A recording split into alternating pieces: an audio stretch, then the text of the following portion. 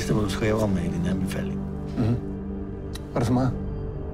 Assad har siden 2013 arbejdet for afdeling Q. Han har udført arbejdet som forventet. Fem år, Akar. Var det det bedste, du kunne finde på at sige?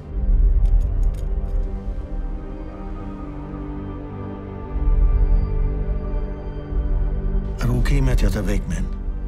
Ja. Vi er kolleger på en politistation. Kollega på en politistation. Er det det, vi er? Ja.